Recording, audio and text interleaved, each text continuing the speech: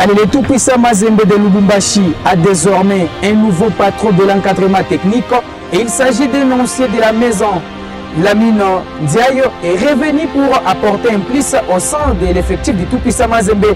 Vous le savez, cette saison, le tout-puissant Mazembe a été éliminé en Ligue des Champions, mais également en Coupe de la Confédération de la CAF un parcours très mitigé pour les Corbeaux de Lubumbashi. Pour parler de euh, ce nouveau staff technique euh, des Corbeaux Louchois, on reçoit un analyste sportif sur le plateau de Kivu Morning Post TV. Mais je crois que Lamine Diaye est rentré sur les bancs de Tout-Puissant Mazembe pour y apporter son porte-bonheur. Parce que euh, moi, je le considère comme un entraîneur porte-bonheur.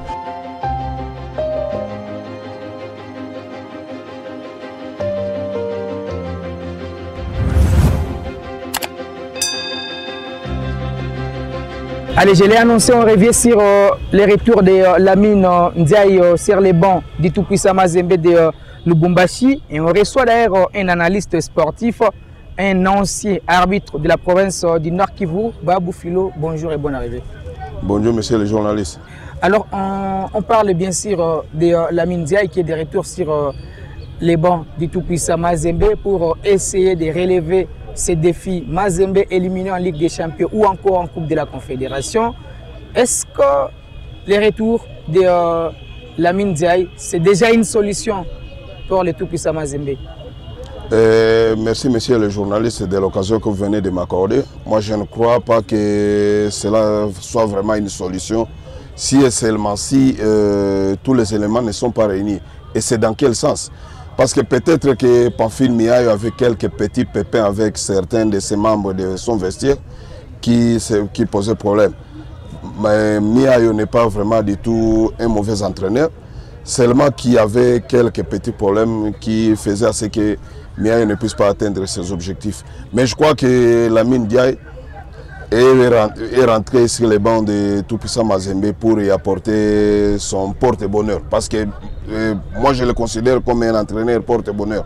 D'autant plus que c'est Lamine Diaye qui a, pour la toute première fois, fait arriver Mazembe à une finale de la Coupe du Monde au niveau d'Abu Dhabi. C'est que pour, pour moi, euh, son retour dans Tout-Puissant Mazembe, cela va porter bonheur et les fanatiques seront très contents de le voir sur les bancs.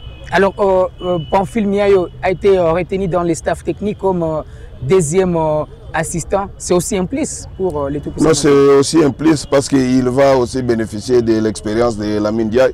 D'autant plus que Lamine Diaye, de par son- sa, longue carrière dans, la, dans, euh, dans les trainings de cette équipe-là, il est expérimenté par rapport à Pamphile parce qu'à un moment donné, euh, il y a certains de, même des joueurs qui pouvaient douter de la capacité de Pamphile Mea de conduire Mazembe à une quelconque victoire. C'est pourquoi il avait des petits problèmes, parce qu'il y a certains de ses anciens coéquipiers qui faisaient partie déjà de son effectif. Euh, Dieu aidant, ils sont déjà partis, mais avec l'arrivée de Lamine Diaye, mais Pamphile Mea va bénéficier de beaucoup de choses. Hmm. Alors, par rapport à l'effectif, est-ce que Mazembe a des joueurs qui sont euh, aguerris? Pour euh, redonner les sourires au Badiangwena Les Badiangwena ont un grand effectif consistant d'ailleurs. Le problème, c'est qu'à un niveau donné, il y avait euh, le problème d'abord de l'organisation de, la compétition au niveau de la République démocratique du Congo.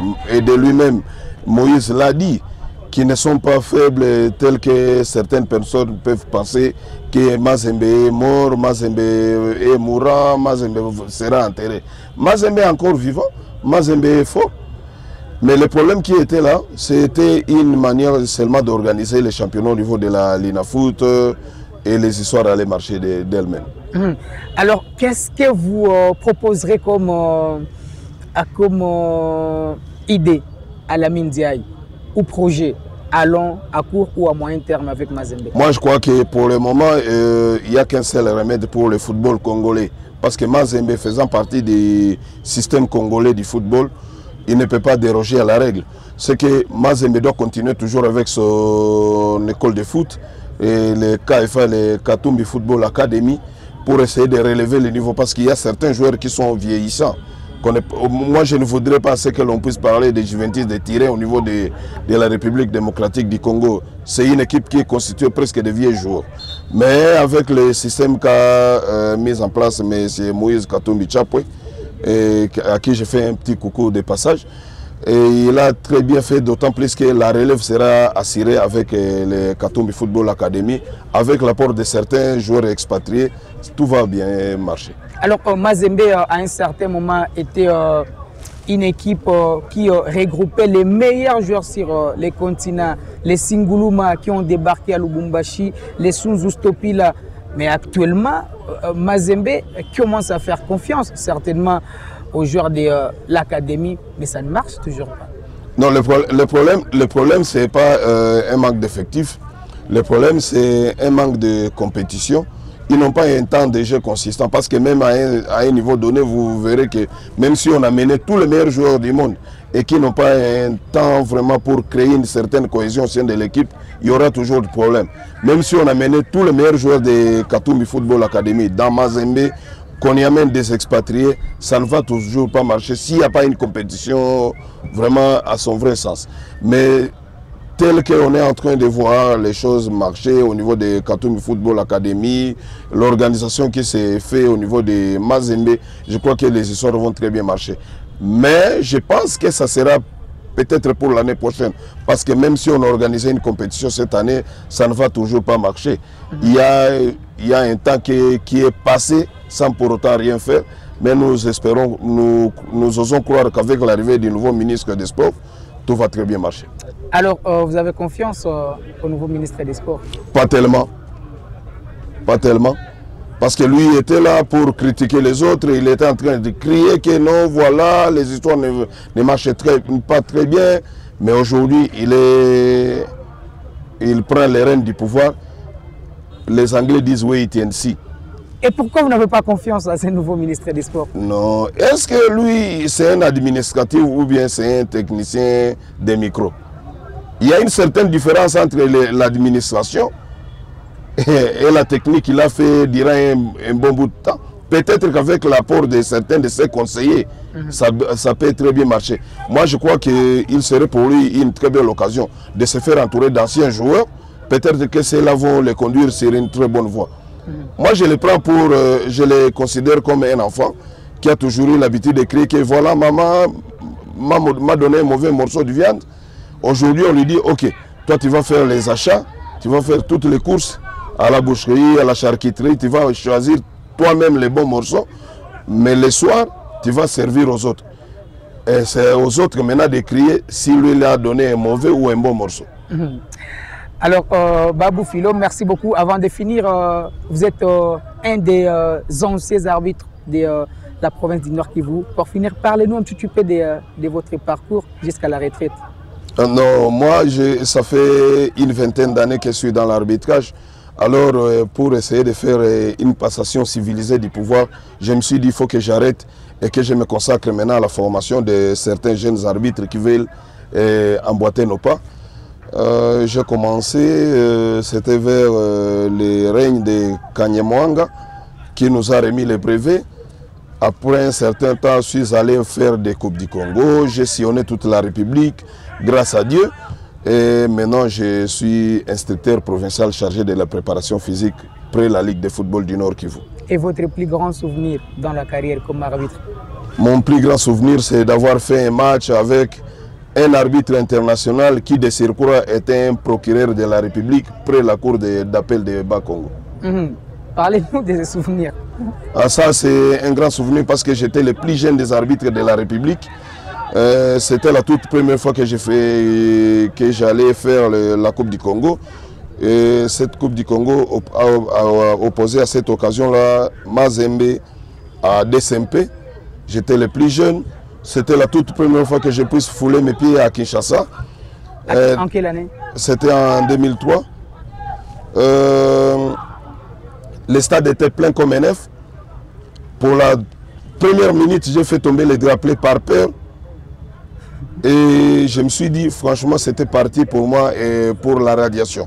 Mm. Je me suis ressaisi après une quinzaine de minutes et avec l'aide de mon arbitre, il a, il a vu que j'avais la frousse. Il est venu vers moi, il m'a dit, rassure-toi Benjamin, nous allons marcher ensemble. Nous avons terminé le match. Et chapeau bas au président de la fédération qui m'a fait un 400 dollars me disant que j'étais parmi les meilleurs arbitres de l'intérieur qui faisait un match pour la toute première fois à Kinshasa et que le match n'a pas connu d'incident. Mhm. J'étais très heureux, c'est parmi les anecdotes qui ont émaillé ma carrière d'arbitrage. Et euh, aujourd'hui, euh, vous, vous sentez à l'aise dans... Euh, non, là où je suis, je suis très à l'aise. Dans l'encadrement des jeunes Dans l'encadrement des jeunes, je suis très, très à l'aise. Et à notre effectif, nous avons déjà un arbitre international. C'est pour moi une fierté. Et, une, de quoi c'est une dame. Mhm. Rachel euh, Donc c'est les fruits de votre travail Oui. Nous, on a travaillé avec euh, mon titulaire parce que nous sommes, nous sommes en train de travailler avec euh, une équipe constituée d'un trio.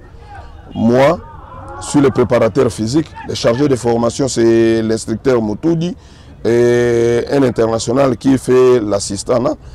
Nous avons quand même, nous sommes parvenus à avoir un arbitre international femme. Allez, félicitations. Ah, c'est moi qui vous félicite, d'autant plus que vous pensez à notre classe, qui est une classe laissée pour compte. Souvent, les médias fouillent les arbitres parce qu'ils disent, bon, on ne fait rien de bon avec les arbitres, peut-être qu'ils vont nous parler des sifflets, des cartons, mais la base du football pour le moment, je crois, est bien, si l'ambiance est totale, c'est grâce aux arbitres. Et nous sommes en train de nous efforcer afin de les former et de les mettre au point pour qu'ils fassent la fierté de la province du Nord Kivu. Allez, merci beaucoup euh, Philo. C'est moi qui vous remercie, messieurs les journalistes. Allez, ça sera tout pour euh, la production sportive euh, d'aujourd'hui sur Kivu Morning Post TV. On se fixe rendez-vous très prochainement avec un autre invité.